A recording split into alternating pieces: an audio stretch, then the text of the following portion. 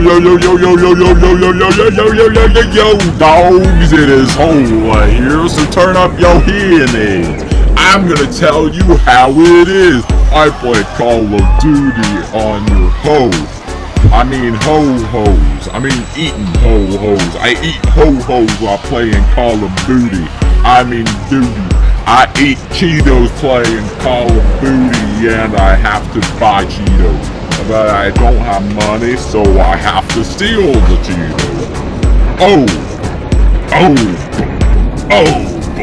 Bam, bam, oh!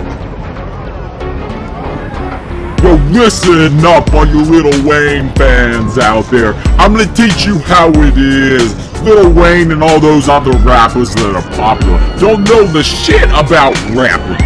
You gotta feel the music, not just talk. You know, if you're gonna rap, you gotta be prepared for a flamingo to bend over in front of your ass.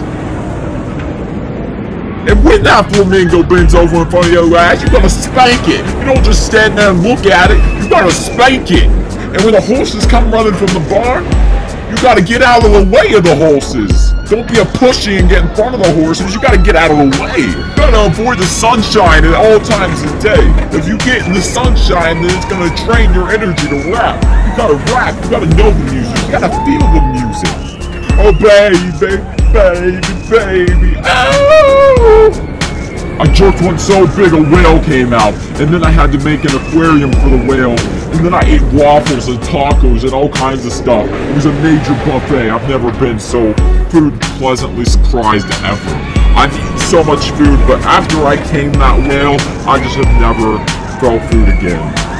I met a dolphin once and I just rode on its ass. It was so nice. Everybody should try riding on a dolphin's ass one time. But anyway, Katy Perry, you're fucking hot. Trade numbers? Maybe?